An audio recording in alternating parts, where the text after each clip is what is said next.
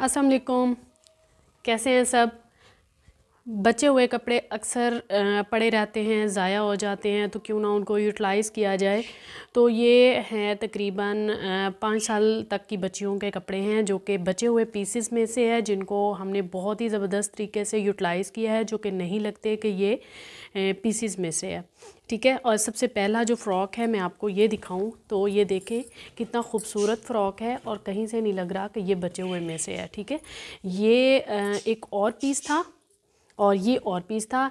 इनको हमने कंट्रास्ट करके और इसकी यहाँ पे अंगरखा टच दे दिया है। पाइपिंग के साथ साथ में लेस लगा दी और उसके बाद ये डोरी लगा दी है। शोल्डर्स पे भी ऐसे ही डोरी लगा लेस लगा दी है। शो, यहाँ पे बाजू नहीं लगाए और इस तरह नीचे देखें इसकी फुल फ्लेयर है। किस, कितना खूबसूरत इसका घेरा है और यहाँ पे जो है ऊपर पेटी के साथ की हाफ़ इंच की पट्टी पलटा दी है। इसी तरह इसकी बैक साइड दिखाऊँ। ये देखें जी बैक साइड पे हमने यहाँ पे बो लगा दी है बड़ी सारी, क्योंकि आजकल बो जो है वो इन है और नीचे जो बॉर्डर है इसका, या नीचे बॉर्डर पे भी राउंड में फ्रंट बैक दोनों पे पट्टी आ रही है। ये जी हमारा फ़र्स्ट फ्रॉक हो गया, जो कि बहुत ही खूबसूरत है। उसके बाद जी आते हैं सेकंड पे। तो ये देखें, ये मदर के ड्रेस में से ये बच्चा था, उसका हमने इस तरह से सिंपल फ्रॉक बन गया। तो हमने सिंपल फ्रॉक बनाया और उसके ऊपर एक और पीस के साथ की, यहाँ पे हमने जस्ट बेल्ट लगा दी। नेक पे भी हमने इसी के साथ की पाइपिंग कर दी और यहाँ पे छोटे छोटे स्लीव्स लगा के उन पे भी हमने पाइपिंग कर दी, जो कि ओवरऑल ये देखें बहुत ही खूबसूरत लग रहा है। अगर इसको यूटिलाइज़ ना करते तो ये ऐसे ही ज़ाया हो जाता, पड़ा रहता। इसको जी नीचे हमने इसके यहाँ पे ज़िप लगा दी है और यहाँ पे जो है हमने जो बेल्ट लगाई थी उसको यहाँ पे हमने बैक साइड पे अटैच कर दिया है और इसकी जो फ्रंट साइड है, वहाँ से जो है इसकी नॉट है। ये हमारा सेकंड ड्रेस हो गया फ्रॉक हो गया। उसके बाद जी आते हैं, ये हैं जी रेशमी है, ये सिल्क का है और ये जो है, ये विस्कोस का है और अब ये जो है, ये कॉटराय का है और ये देखें, इस पर ये इस तरह से जस्ट कलियाँ बची थी तो हमने कलियों को जॉइंट करके नीचे घाघरी बना दी और फ्रंट पे जो है पेटी बना के उसकी यहाँ पे पाइपिंग करके यहाँ पे बटन लगा दिया इस तरह से, क्योंकि यहाँ पे जोड़ आ रहा था, जोड़ को हमने इस तरह से कवर किया है और यहाँ पे हमने पाइपिंग कर दी और लेस को इस अंदाज से लगा दिया है। ठीक है? स्लीव्स की जगह पे छोटी छोटी फ्रिल बच्चियों को अच्छी लगती है या स्लीवलेस तो छोटी छोटी फ्रिल लगा के ऊपर लेस लगा दी है। अब इसके जो फ्रंट साइड है वहाँ, यहाँ पे छोटी छोटी बूटी आ रही है फ्लावर्स की और जो बैक साइड है, ये देखें बैक साइड बिल्कुल प्लेन है क्योंकि बैक साइड हमने ट्राउज़र में से बनाई है और फ्रंट साइड जो है, वो हमने शर्ट में से बनाई है। देखें, बहुत ही खूबसूरत फ्रॉक बन गया है। जस्ट यहाँ पे छोटी सी इसके जोड़ आया है जो कि प्रोमिनेंट हो रहा है, जो कि लग रहा है कि मतलब बचे हुए पीसेस में से था। अदरवाइज़ ये कहीं से भी नहीं फ़ील हो रहा। और इसका नीचे घेर भी बहुत खूबसूरत है। ये दस कलियाँ बनी हैं।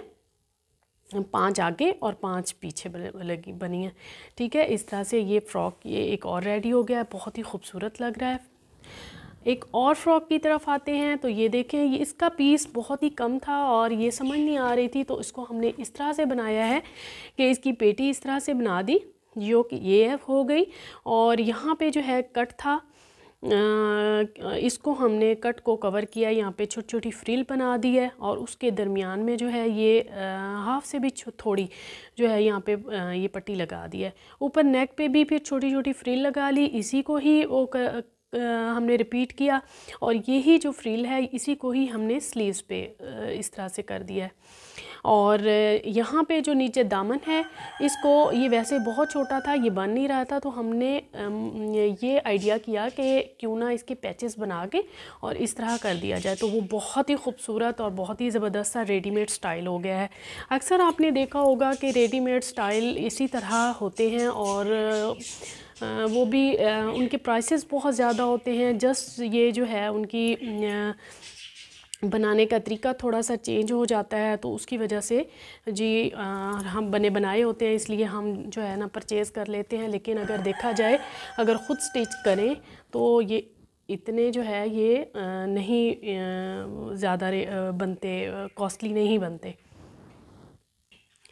अच्छा ये एक और है ये देखें जी ये इस तरह से था पीस और इसकी जी हमने नीचे योक जो है वो इस कलर की बना दी, सिम प्लेन कपड़े की।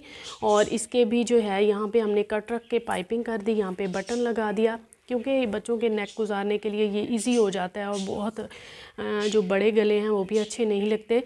तो यहाँ पे जो है हमने जैकेट का स्टाइल दे दिया है और वहाँ पे लेस भी लगा दी है दोनों स्टा, उस पर दोनों साइड पे।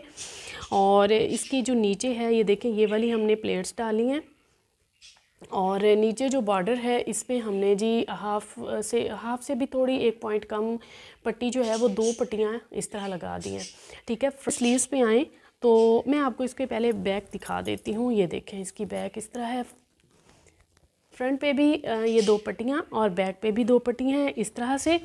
और इसका जो नेक है, इसके ऊपर भी हमने प्लेन के साथ की पाइपिंग कर दी है। थोड़ी बहुत चेंजिंग करके आप बहुत ही खूबसूरत सा डिज़ाइन बना सकते हैं।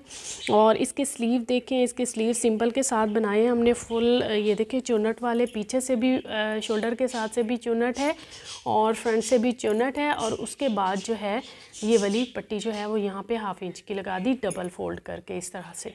और ये बहुत ही खूबसूरत से फ़्रॉक बन गए हैं।